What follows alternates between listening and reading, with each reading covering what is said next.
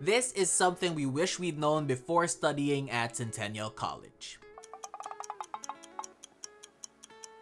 Hey everyone, welcome to 3 Minute Thursdays. It's a show where Bea and I answer the most frequently asked questions or just things that we think are interesting for you to know. And we'll say that all under 3 minutes. So, Here's what we wish we'd known before studying at Centennial College. Alright, so for context, our initial plan was to go to Canada, study at Centennial College, and work full-time during the summer break. Because if you're an international student, you're allowed to work full-time as long as the break is uh, a school official break. A school official break.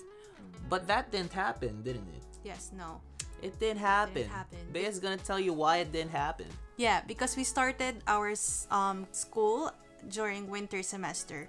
So if you start January, which is the winter semester, um, your course will run continuously for four consecutive semesters. So you will not have summer break. Exactly. So again, this is for Centennial College, mm. right? This is uh, this is not for all the colleges because other colleges seem to have summer breaks even if you go in during the winter time. Mm. But that's what Centennial does.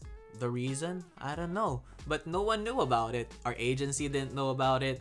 Uh, the school didn't email us about it. We didn't know about it. And now we're telling you guys. Yes. So if you want to have a summer break, the best time for you to start your first semester is on September, which is the fall semester. Yeah, you will have two terms, two consecutive terms, a summer break, and then two more terms. Yeah. If you're studying two-year course. Yeah. So the pros about what we did is we didn't have a summer break, but we get to graduate faster, right? Since we don't have a summer break, we're basically studying winter, summer, fall, and then winter again. There you go. And then yes. we're basically graduating in one year and four months. One year and four months. Yeah, so we saved four months yeah. by just starting our school on January. Yeah, but the con is again if your plan is to, you know, like save up save up, during get more the summer break for your tuition fee, get more experience. Yeah, if that's your plan, you yeah. have to start on the fall semester.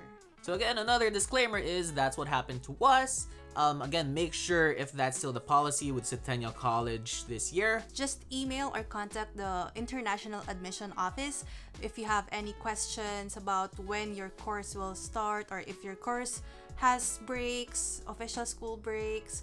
And yeah, just keep in touch with the international admissions um, so you won't have any problems in the future. Yeah, they're, they're super friendly. They re- mm. respond to your emails. So yeah, that's it. That's it for today's 3 Minute Thursdays. I hope you got some value out of that. If you did, make sure to smash the like button, consider subscribing, and hit the notification bell so that you'll be updated whenever we have new videos like this. And if you have any questions that you want us to answer on 3 Minute Thursdays, make sure to comment below and we'll, we'll line it up for you. That's it. See you next time. Bye. Peace.